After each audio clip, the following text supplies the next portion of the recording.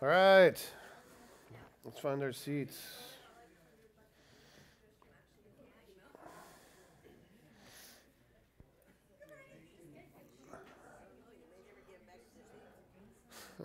Israel, if you want to call it that. And uh, it was over within, really honestly, it was over within a few hours. Um, and over, when I say that it was over, what I mean is, is that Iran had fired all the drones and missiles um, that it wanted to currently. And Israel, along with the United States and France and Jordan and Great Britain, and as it turns out, Saudi Arabia, um, shot down around 99% of everything that was, you know, sent their way. It was perfectly choreographed.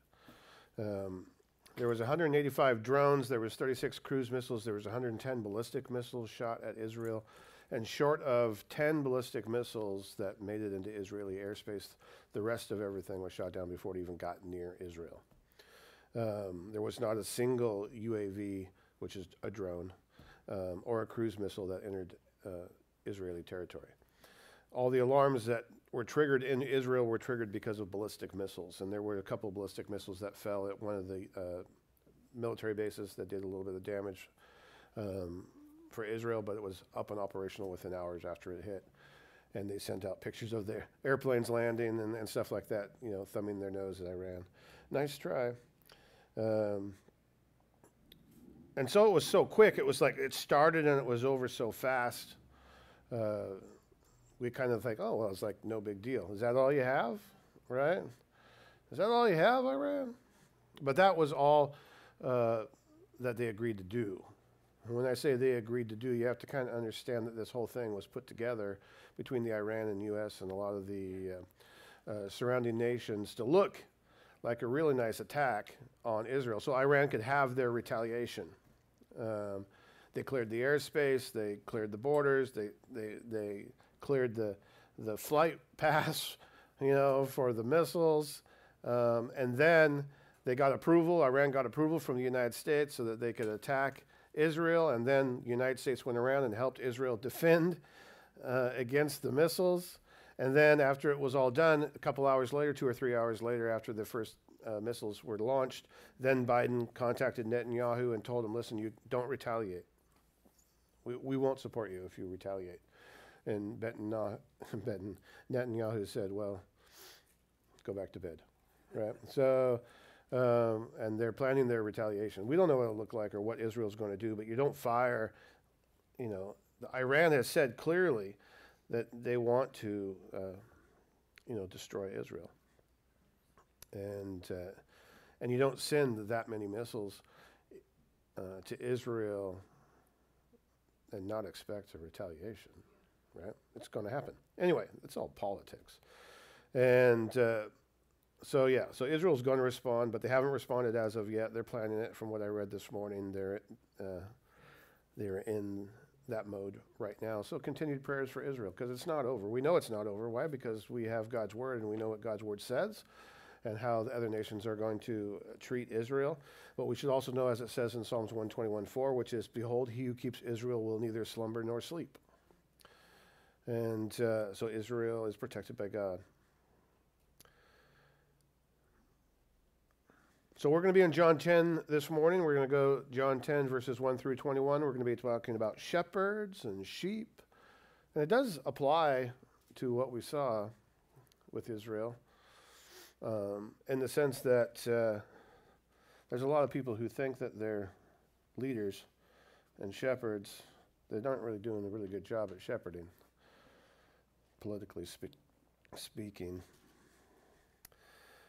So we're going to be talking about shepherds and sheep, talking about the good shepherd, the one shepherd we should follow, the only shepherd we should follow, Jesus. What do you call a sheep thief? Anybody? Steal wool. What's a sheep's favorite car? Come on, nobody? Come on a Lamborghini. what happens if you're surrounded by a flock of sheep? you get lambushed. lambushed, right? Speaking of being lambushed, I did some research and I wanted to show a video that I thought, let's see if I can get this to work, that I thought uh, was a really good behind the scenes picture of what it's like to shepherd sheep, not just literally shepherd sheep, but also from sort of a, you know, a pastoral leadership, overseer type of ministry, you know, idea. So you can get the idea. This is what it's like. My remote's not working here, but this is what it's like, right? So this is a really in-depth, it's really quick, like 40 some odd seconds, in-depth, behind the scenes documentary uh, kind of thing. Picture, a picture into the world of what it's like to shepherd speak, but shepherd sheep, both literally, figuratively, metaphorically, however you want to phrase it. Watch this really quick.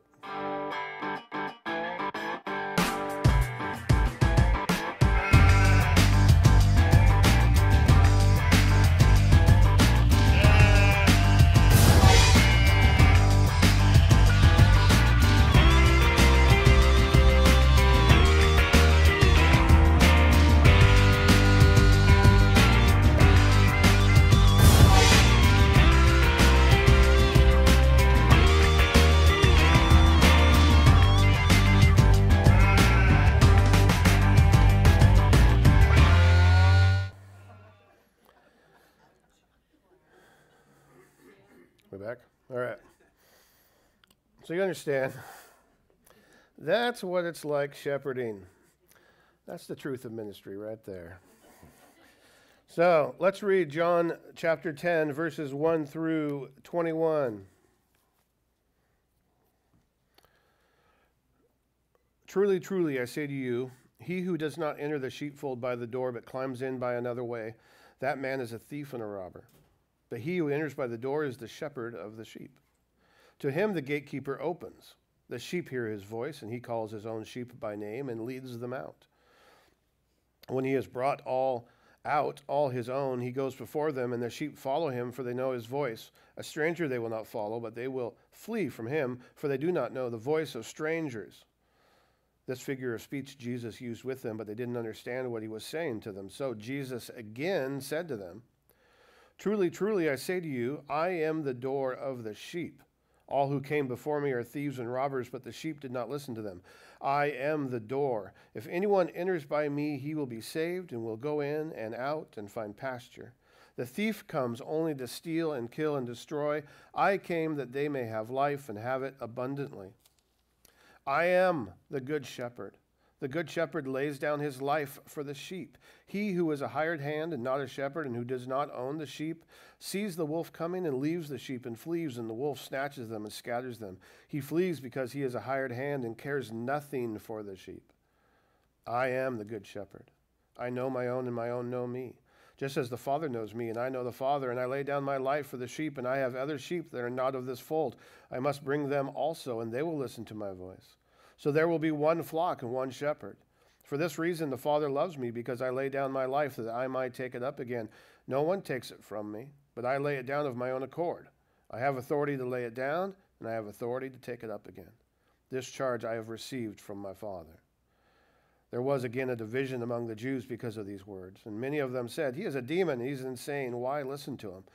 And others said, These are not the words of one who is oppressed by a demon. Can a demon open the eyes of the blind?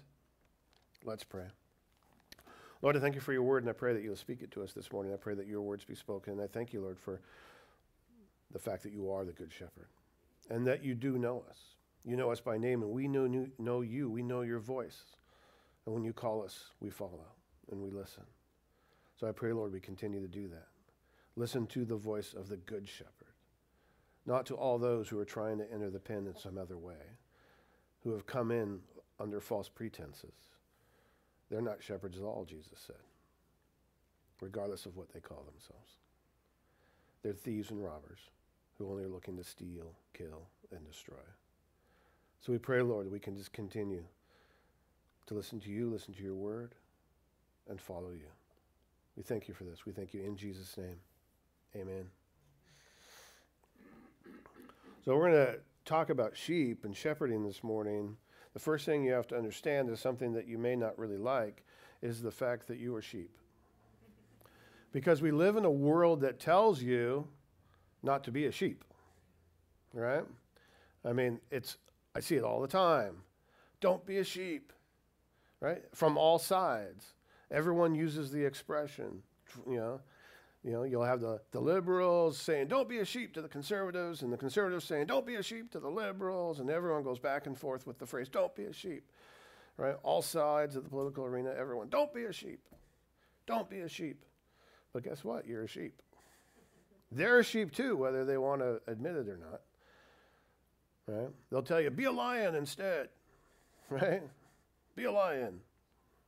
Don't be a sheep. Because that, that term today, it's, it's derogatory. Right? Don't be a sheep in a world full of wolves. Don't be a sheep. So they'll tell you that phrase, they'll say that to encourage, right?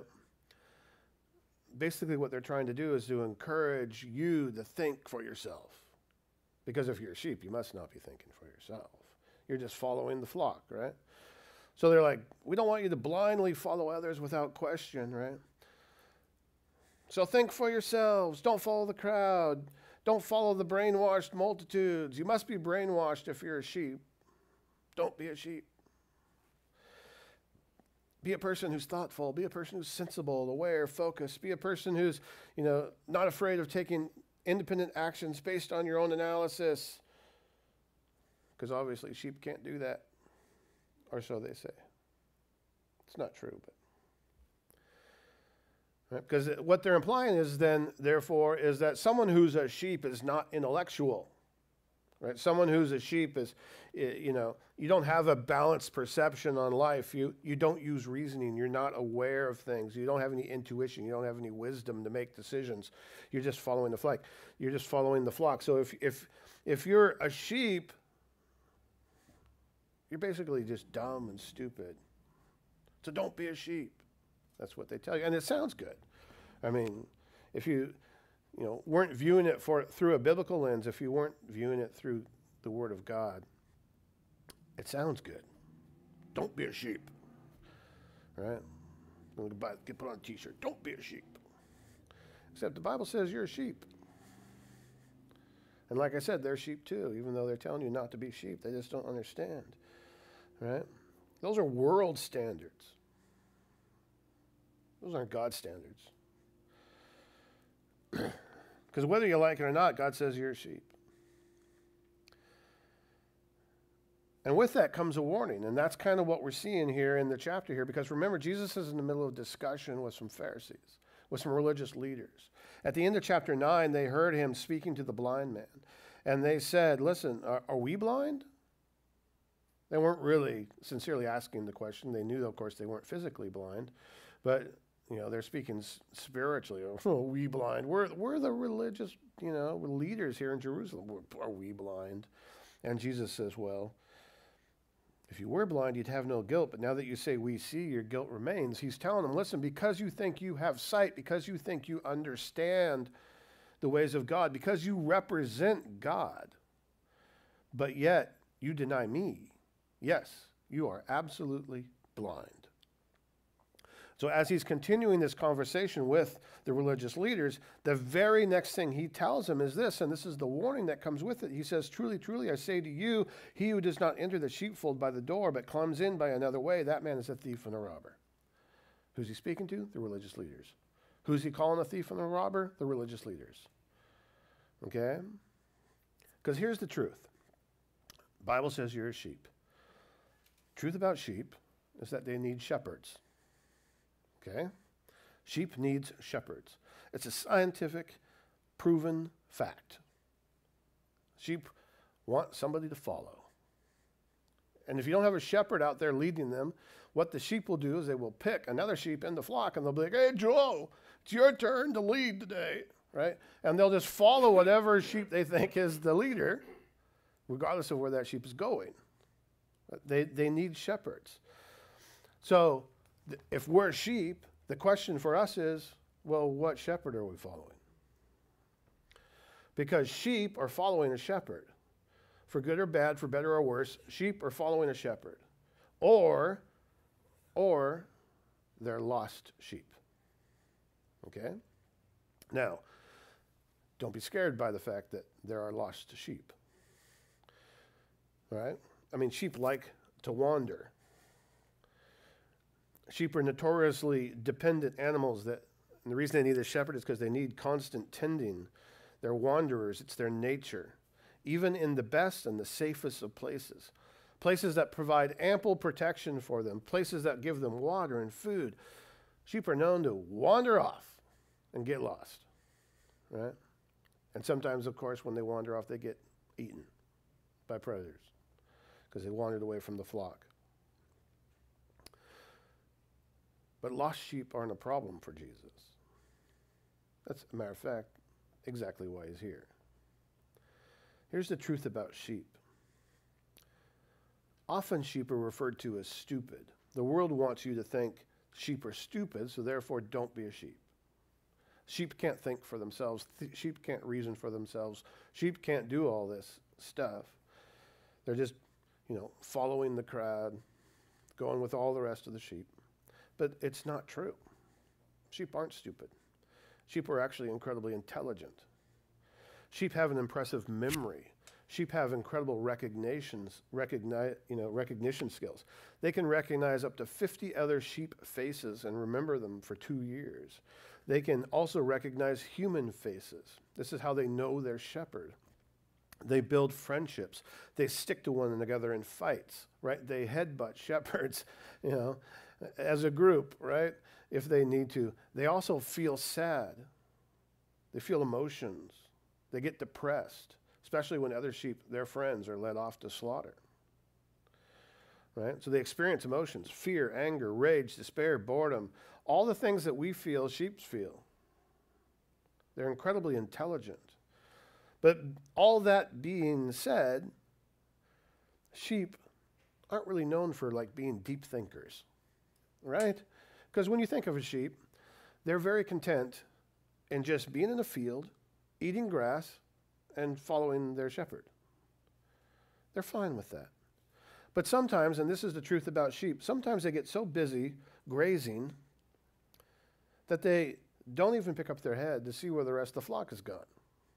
And before they know it, the flock has wandered off and they're left behind. The flock, and, that's, and this is how they get lost. This is how they get in danger. This is how they get separated from the flock. This is why they need a shepherd. They need a shepherd to be like, hey, we left one behind. We need to go get him. He was so busy eating over there, he wasn't paying attention that we've moved or that we're moving. But not just any shepherd. They need a shepherd that's going to look out for them. They need a shepherd that's not going to abandon them. They need a shepherd that's not going to lead them into danger. They need a shepherd who's willing to keep an eye on them and doesn't just let them wander off. Because if you could imagine, if a shepherd just gets his flock and goes, and he realizes only half his flock came with him, and he's like, Where's the other half? Oh, I don't know. I don't care. If they, if they can't bother to follow, what good are they? Well, what kind of shepherd is that? Right? Back in 2005, I mean, it's almost been 20 years ago, there was a group of shepherds in eastern t- Turkey who were so busy with breakfast one morning, they weren't paying attention to their sheep, and they had 1,500 sheep walk off a cliff. 450 of the sheep died. That's the first 450 that went over the, the cliff. The others landed on top of them. That's why they didn't die. Don't make a joke out of it, but that's, you know, they got a good bounce. But the sheep were just following the lead sheep. See, sheep have lead sheep. If there isn't a shepherd to lead them, they have a lead sheep. And if that lead sheep goes somewhere, they just follow the lead sheep. And the shepherds were so busy with breakfast, they paid no attention. They didn't realize what their sheep were doing, and 1,500 of those sheep just walked right off a cliff.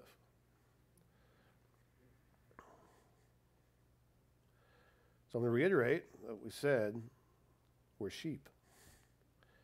Is any of this relatable yet? right? We are sheep. And we're following a shepherd, good or bad, for better or worse. We're following a shepherd, or we are lost sheep.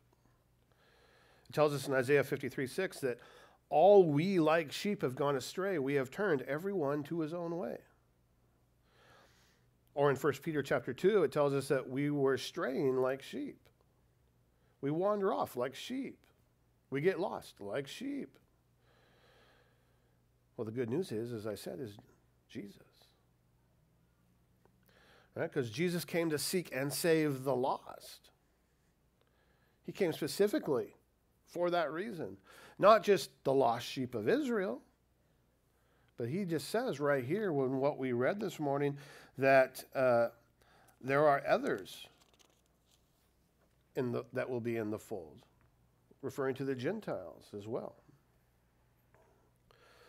So Jesus has compassion on those who are lost. And as he refers to them in Matthew chapter 9, he says, They are what? They are sheep without a shepherd.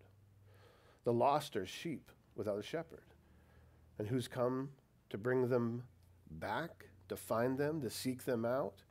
It's the good shepherd, right? Jesus. So, in these verses that we're reading here this morning, what we're seeing is Jesus telling us, telling the religious leaders why he is the good shepherd. And quite frankly, why they are not. Right? And he gives us these qualifications of what it is to be a good shepherd. Right? Jesus is the best shepherd. He's the only shepherd that we should follow. There are no other shepherds that we should be following. If you're following any other shepherds, you're following a wrong shepherd. Too many people are following wrong shepherds because they aren't following Jesus.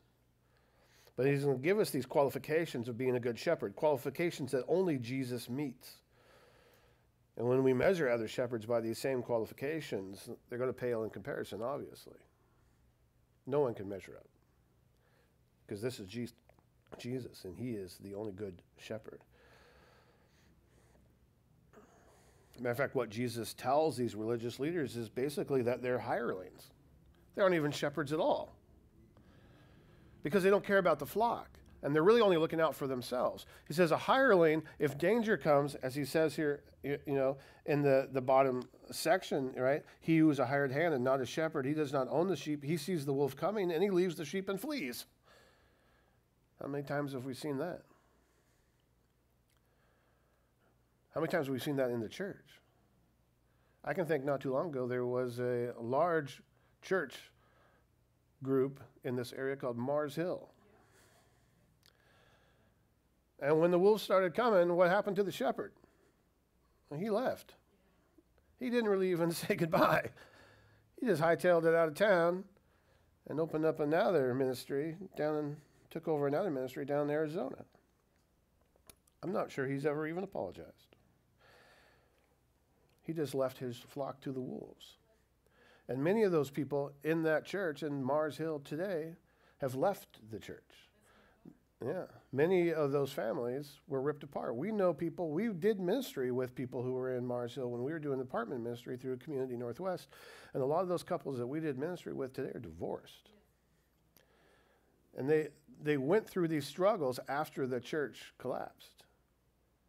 When you have leaders who are only looking out for themselves, and aren't sticking up for their flock and have no desire to protect their flock, and when danger comes, they run, you're leaving your flock to the wolves.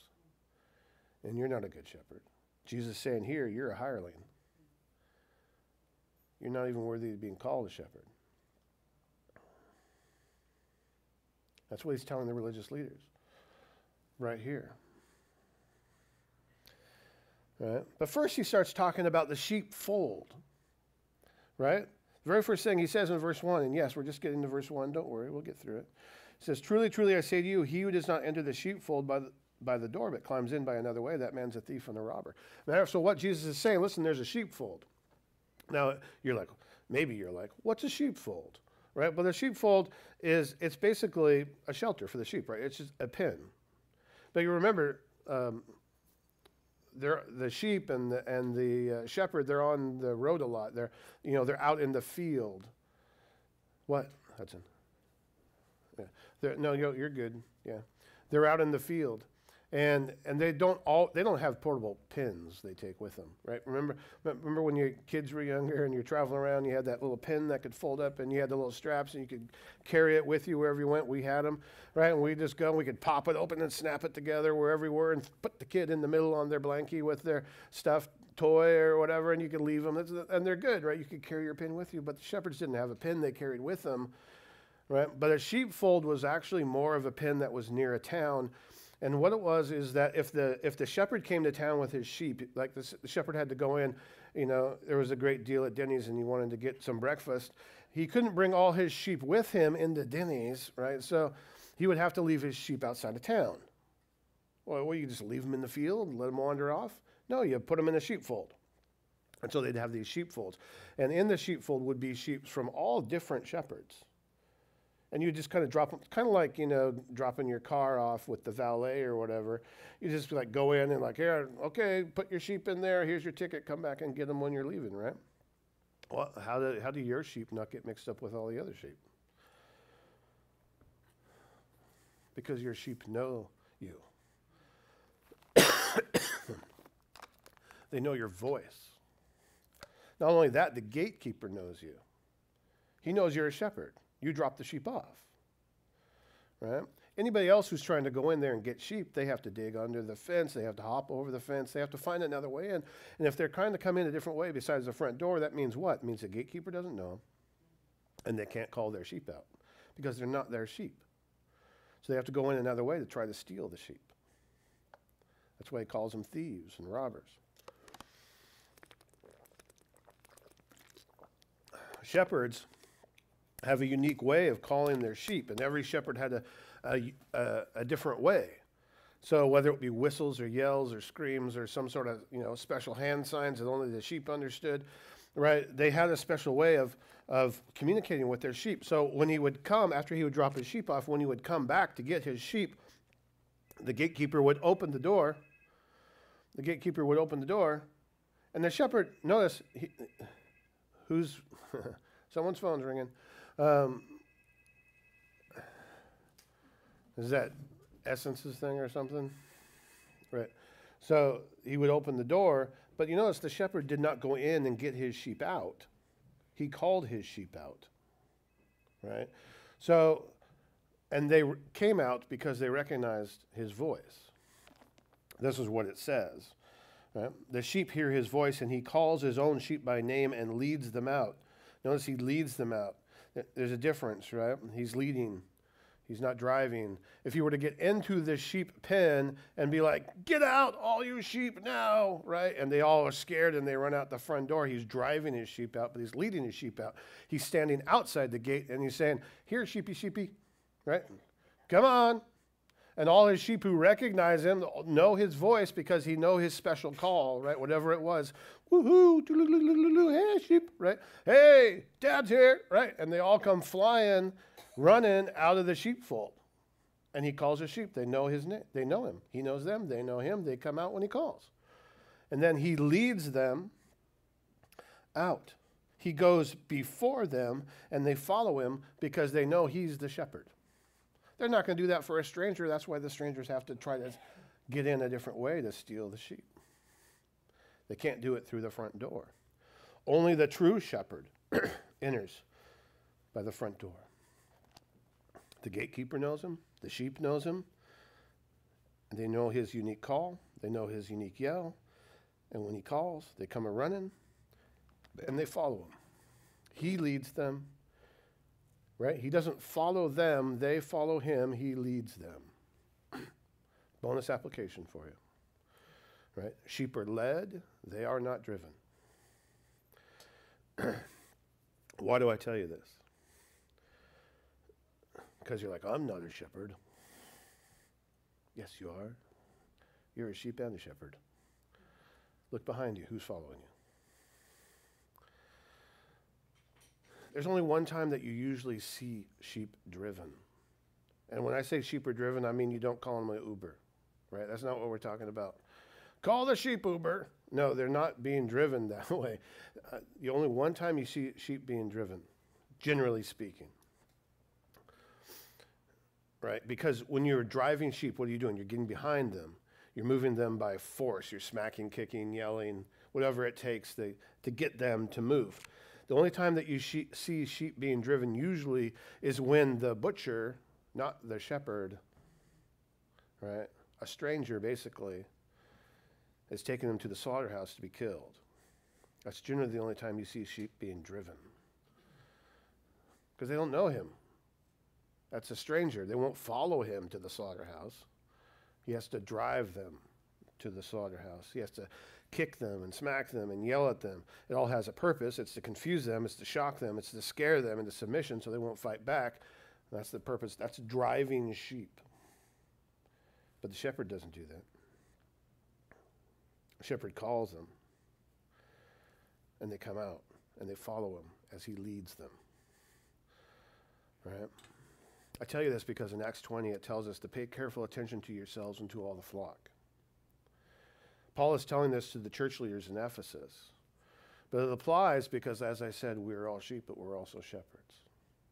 Because every one of us at one point in time had someone we were leading or someone who was following us.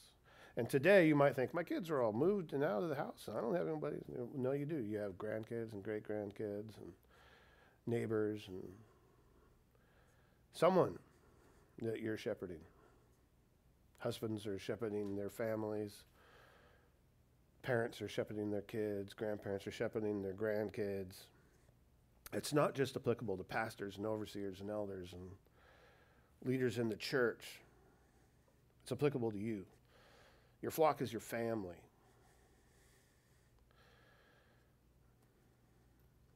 So pay attention, be alert, care for them, be on the lookout for wolves. Use the rod and staff when necessary, but lead them, don't drive them. When you have to choose, because you're going to have to make this choice if you haven't already had to make this choice once in your life. When you have to choose between that frustration and anger or love and grace, right? That's a choice between leading and driving. When you have to choose to make that choice, choose love.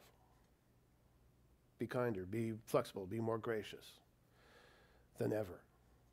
Right? Quit shouldering that weight and the burdens and the expectations that you think are on you that may possibly have been placed on you by the world. Lead your sheep, comfort your sheep, point them to the Good Shepherd, Jesus.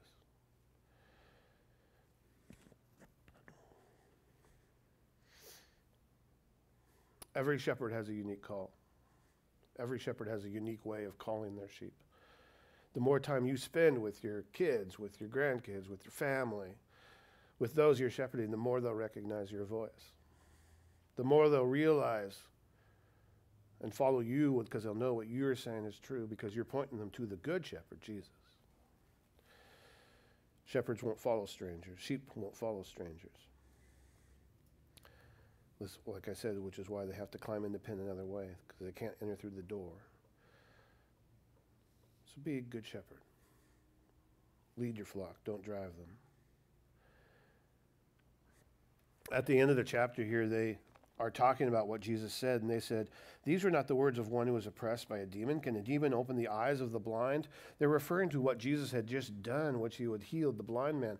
Well, that blind man, remember, he was blind. He couldn't see Jesus. He heard Jesus. So, in a sense, Jesus called him, and he heard his voice. And he said, I'm following that.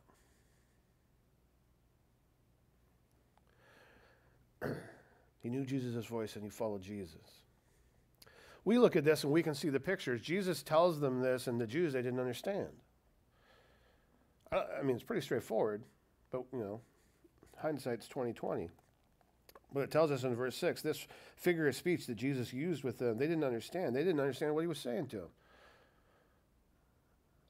So Jesus says it again. But he kind of, you know, changes up the wording slightly. He's still saying the same thing.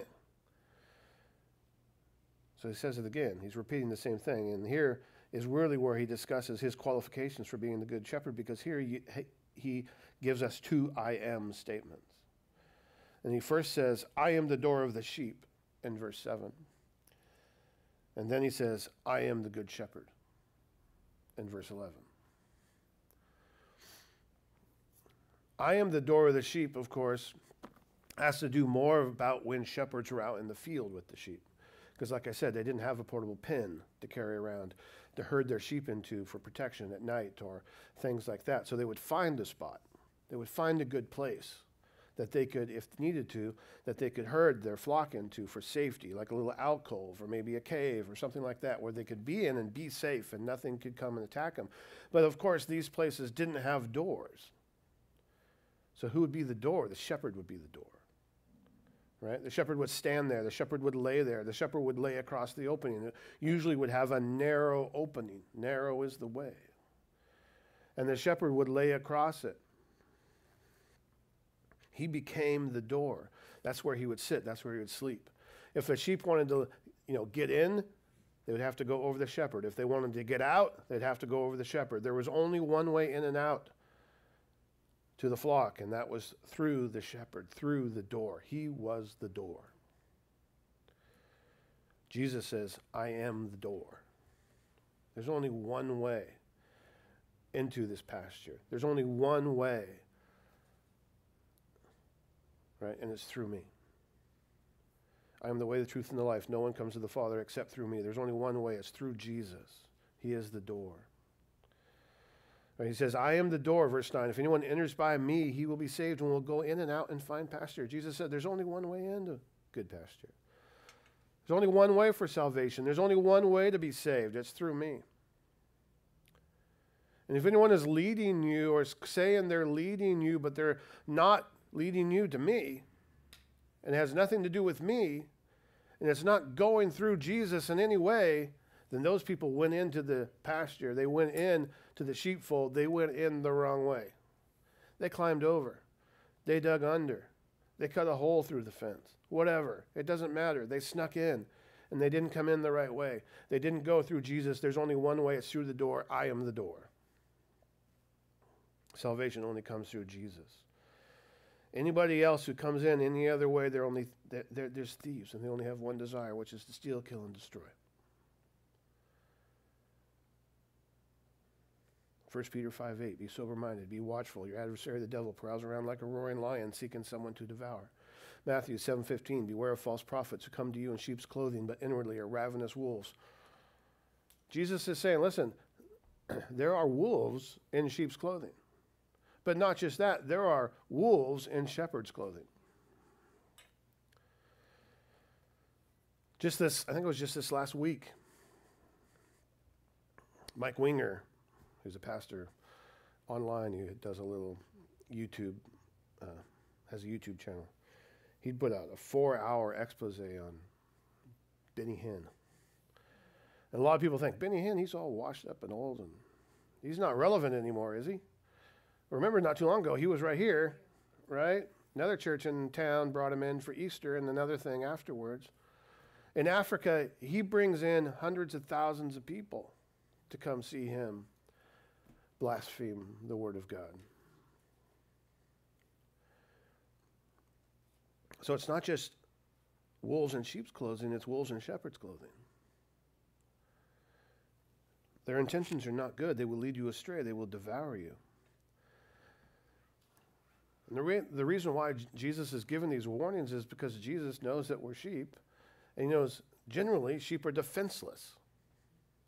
Sheep aren't really good, you know, at defending themselves per se, except for the very rare occasion where they're headbutting the shepherd, right? Like what we saw in that video there. Generally, they're thought of as defenseless. I mean, many animals have a way of defending themselves. Horses can kick really hard, right? Dogs and animals like that can bite and attack you.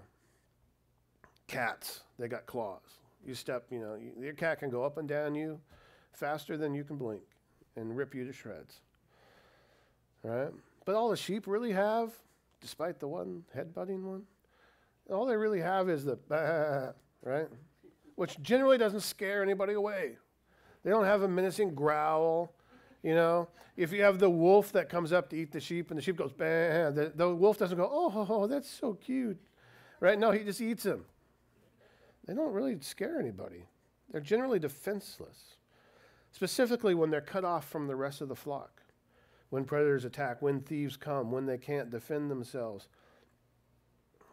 But the hope is this it's Jesus. Because Jesus isn't just the door of the sheep, he's also the good shepherd, and the good shepherd lays down his life for the sheep. The good shepherd is there to defend his flock. One of the best pictures I saw, I didn't bring it with me, but when I was looking for images to use uh, for today, was a, a picture of a wolf getting ready to attack a sheep. And right between the two, you see running over the hill with its staff in hand, ready to, you know, take out that wolf with one swing, was Jesus. Jesus is willing to, he laid down his life for the sheep. Jesus said, This is the qualifications of a good shepherd, right? They lay down their life for the sheep. Jesus says, I have the authority to lay down my life. I give it freely. I'm laying down my life for the sheep. I have the authority to lay it down and pick it back up again. I am the good shepherd, right? That's the ultimate qualification for a good shepherd. The rest are just fake shepherds. They're just hired hands. They're not really even shepherds at all because, as Jesus said, and as we went over, he said, Listen, when trouble comes, what do they do? They run. They're not really worried. They're not worried. They don't want to protect you. They have no, re- they have no reason to protect you. They're just looking out for themselves. They don't care for the sheep at all. They will just abandon you. Zechariah 11, 17 says, Woe to my worthless shepherd who deserts the flock. May the sword strike his arm and his right eye. Let his arm be wholly withered and his right utterly blinded. Listen, Jesus isn't going to abandon you. He's not going to run away when trouble comes. He doesn't do this. He didn't come to steal, kill, and destroy. He came so that you would have life and you would have life abundantly. Right? Deuteronomy 31 6. Be strong and courageous. Do not fear or be in dread of them, for it is the Lord your God who goes with you. He will not leave you or forsake you. Jesus will never leave you, nor will he forsake you. Jesus is, as it tells us in Hebrew 13, the great shepherd of the sheep. He protects his sheep. He knows them by name. He calls them out. They follow him. So, the good, bad, and ugly of everything that we've been going over here in these verses is real simple. We live in a world that's full of false teachers, and we live in a world that's full of false leaders, and we live in a world where a lot of people claim to be shepherds, quote unquote, but yet don't have a clue about lead, leading flock because they're trying to drive the flock and not lead it. They want to scare you into moving. They want to scare you into doing things. They got to get behind you and yell at you and scream at you and push or, or try to, in some other way, get you to move to do what they want you to do because you just won't do it willingly. If they just said, hey, come follow me, you'd be like, I don't know who you are. Why would I follow you? So they got to do it another way. And Jesus is telling you those type of people aren't shepherds at all. And the reason you don't follow them unless somehow you're forced into it or coerced into it or they put your arm behind your back and push you forward and make you do it. The reason you wouldn't follow them just on your own is because you know that they're not shepherds. You, do, you know, you don't know their voice. They're strangers. There's only one good shepherd, and that's Jesus. These people, they're just hirelings. They just punch in and they punch out. They're on the clock and they aren't really worried about anything anything else, right? They, they, they will abandon you in a second to save their own skin. They don't care about you. They'll leave you high and dry. They're going to let you walk off a cliff while they're having breakfast, and they won't even, you know, lose sleep over it. Those false leaders and those false teachers, much like these religious leaders that Jesus is addressing here, they're not shepherds, they're not leaders. That's the ugly truth of it. They've only come to steal, kill, and destroy, which is why we don't follow them, which is why we only follow Jesus, which is why we obey God and not man. And the good news of it all is this it's Jesus. Right? You want good pasture, you want salvation, you want peace, you want comfort and security. Guess what? It comes through Jesus. He's the door, He's the good shepherd. Jesus laid down his life for the sheep. Jesus came to give us life and to give it abundantly. Jesus knows his sheep and we know him. He knows we know his voice. He knows us by name. When Jesus calls, we listen. When he says come on out, we go out. He leads, we follow. He doesn't drive us. He leads us. And we have comfort and we have peace and we have, you know, security and understanding that he goes before us. Right? That's exactly what it says here. He goes before them, and the sheep follow him, for they know his voice. We trust Jesus and we follow him because we know that's who we're following. That's the good news. Jesus is the good shepherd. He is the door. We follow Jesus, and in Jesus we are saved. He's never going to leave us, He's never going to forsake us. Amen? Let's end by reading this Psalms 23, verses 1 through 6. You guys should have this one memorized. The Lord is my shepherd, I shall not want. He makes me lie down in green pastures. He leads me beside still waters. He restores my soul. He leads me in paths of righteousness for his name's sake. Even though I walk through the valley of the shadow of death, I will fear no evil, for you are with me. Your rod and your staff, they comfort me. You prepare a table before me in the presence of my enemies. You anoint my head with oil. My cup overflows. Surely goodness and mercy shall follow me all the days of my life, and I shall dwell in the house of the Lord forever. Amen. Let's pray. Lord, I thank you for your words, and I thank you, Lord, for the fact that you are a good shepherd, and I thank you, Lord, for the fact that you lead and we follow because we understand who you are and what you've done and the price that you paid for our salvation. We understand that you laid down your life for the sheep. We understand that you won't abandon us. You won't forsake us. You won't run when danger comes. You stand in front of us. And we thank you, Lord, for the comfort and the peace and the security that comes from that. We thank you, Lord, that you are the great I am. And we pray, Lord, that we can continue to be a light in the darkness and we can continue to point people to you, the Good Shepherd. We can continue to point the lost sheep to the one shepherd who actually cares for them and who wants to bring them into his fold.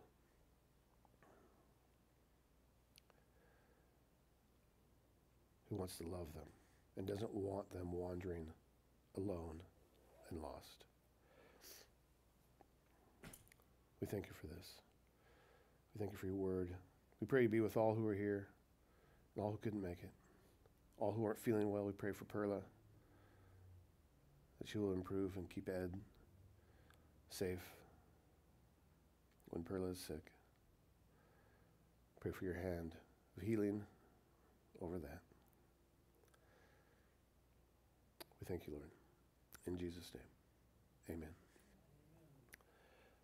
Jana, do you want to bring up your daughters? We're going to pray for Jana and her daughters. If I can have Dad, if you can come up um, and whoever else would like to come up as well. They're getting ready to go um, to Texas, Houston, right? For the what? The World Finals? I don't know what it's called, sorry. It's the World Championship of Robotics. And uh, their team has been a great example to a lot of the other teams that are um, competing and uh, because of your guys' faith in God and an example that your team is to a lot of the other teams. And I hear last week you guys, it was a miracle, you know? God brought you from behind and uh, you won, or whatever it was. And you get to go to Houston, so it's great. So we want to pray over you guys and your family. I know Eddie is working or sleeping maybe at this point, but uh, as he was working all night. But um, we pray for safe trips and uh, and great competition. You know, Lord's will be done. You guys are a great example, regardless if you win or lose, and you guys know that. So that's part of the great testimony that you guys have and, and what you're sharing with all the other kids. So let's pray. Lord, I just thank you for the Labinia family here, and they're they're heading off to Houston for a great robotics uh, uh, tournament. We pray, Lord, for safe travels. Number one, uh, that everything goes smoothly. They all get down there without any problems. There's no hiccups in the flights and, and the arrangements. Um, everyone stays healthy. It'll be a great trip for the family and that everyone enjoys themselves. Uh, we pray for the whole team, everyone that's going down, uh, that, uh, that for all their safety. Uh, but we also pray they just continue to be a great example um, to all the others who don't believe in Jesus, who aren't following the Lord. They can see a team here who professes their faith, follows the Lord, and are uh, a great testimony and a, sh- a light shining because of that. Regardless if they win or they lose, or it's discouraging, you know, when loss happens, but uh, there are great things that come from it as well. But we just pray, Lord, that they do the best that they can do and that your will be done. We just pray that they have a great time and that they're a great example and bring them home uh, safe. We just thank you, Lord, for this and just bless their entire trip in Jesus' name. Amen. All right.